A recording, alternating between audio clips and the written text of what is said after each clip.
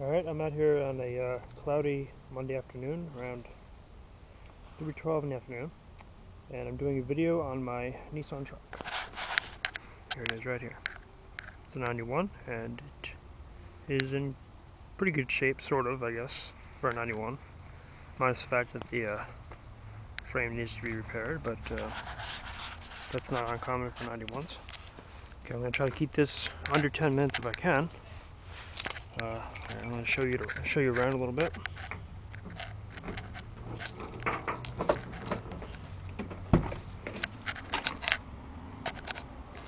Shit, there we go.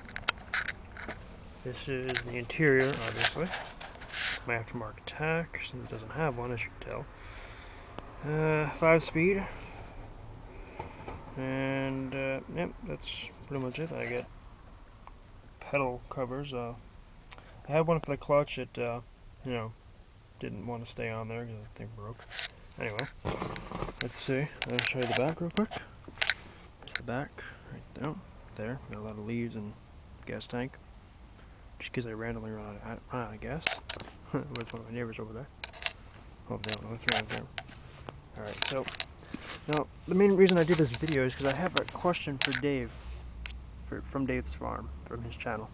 I've seen a lot of his videos; they're really good, and uh, trying to follow some some of his advice as far as how to make a good YouTube video goes. Um, uh, but unfortunately, as you can tell, it's cloudy out, so it's not much sunlight.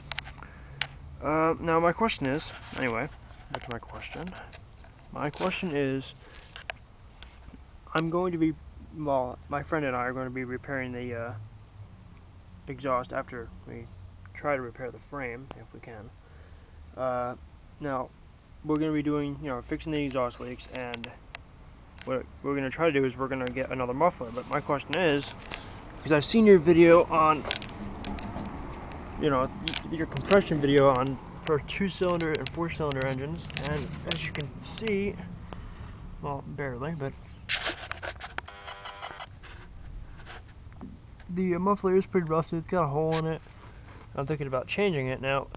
If I change it, will that con will that affect its you know? Well, it probably uh, obviously it will affect the uh, the back pressure to some extent. But will that affect my engine's performance? Like as far well, you know, as far as torque goes and shit like that. Because I don't want to mess that up in any way. Because you know it's a truck and it eats all the torque it can get. Anyway, let's uh, I'm gonna show you the engine real quick. The hell's my little? Here it is. My alternator, my dead alternator. This is not from this truck. It's from a friend of mine's car, from my 1994 Mazda Protege. And he killed it. I don't know how he did. He just did. He just killed it. I'll put it behind the tire so the truck doesn't roll away. I know it looks like we're on flat ground, but um, we're kind of not. Well, we are, but not enough to keep it from rolling. so,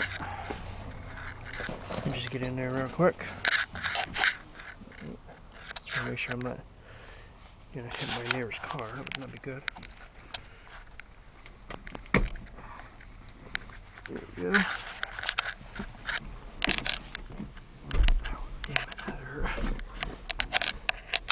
Alright, crap. My finger's always in the way every time. Alright, so now I push the clutch in. Notice a little bit of rollage. Just a little bit. Not a lot. Yeah, my shoes squeak a lot when I push the clutch in. That's because they just do. Five speed. Oh yeah, four wheel drive. See? I'm pretty sure all you YouTubers know what a four wheel drive sh shifter looks like. I'm just showing it off anyway. Anyway, now let's go look at the engine. It is a KA24E, which is the same engine, I believe, Dave, that your Nissan Stanza has. Except it's probably more like the uh, the uh, 240SX version. I think they have a little bit more, yeah KA24E, the 240SX, has a little bit more horsepower. I'm not sure. Don't quote me on that put the camera down so I can open the hood off. Oh crap, it would help if I actually had let's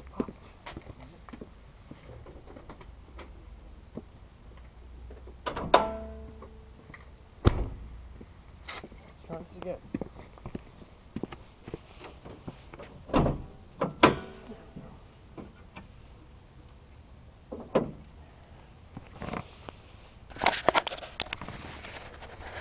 Go see. Good old K24E. Runs really good. Good little engine, I think. For a four cylinder, it's got a lot of power too. Yeah. The hell was that? No idea what the hell that noise was. Probably just like acorn hitting something, I don't know. I don't think I have any acorn trees around here anyway, but anyway. Let's start the engine up. Alright, so, now what I'm to do I'm going to push that little inter interlock switch right there, which allows me to start it without pushing the clutch. Which is good for me, that way I can do one of those, uh, you know, one of those uh, outside the truck start kind of things. Now the thing is with that, you gotta be careful. you gotta be careful because, sorry about that, I was trying to turn the steering wheel so I can unlock it. You gotta be careful it's not in gear when you do that because this thing will drag you down the street. I haven't done that yet. I'm just waiting for that to happen. Anyway, just push the interlock switch. No. Mm, yeah, that window hurts my every time I do that. Anyway, now the engine up. Give you a little bit of engine shot. Try to open it a little bit here without hitting this car. Okay, there we go. Ow. Alright, so here we go. A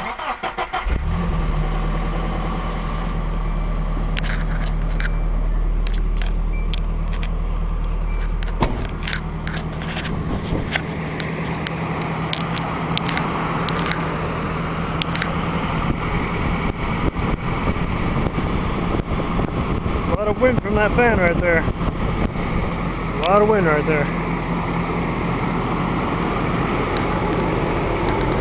Runs good though. Oh, zoom out real quick. There we go. Runs pretty good.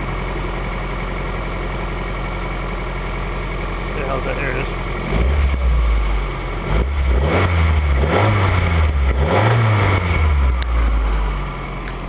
Yep.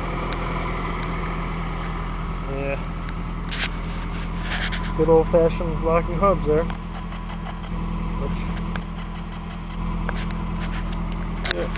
I think it's pretty good as long as you remember to lock them in the winter. So that's, that's pretty much it. I'll give you one more shut up, shutting down, and I'll put this on YouTube later on. Hopefully, this time I have audio. I did this yesterday and I didn't have any audio. I don't know why. Let's hope I have audio. Obviously, I'm speaking, but if the camera doesn't pick it up, that doesn't help much. So, a little bit of shot of her shutting down there. There we go.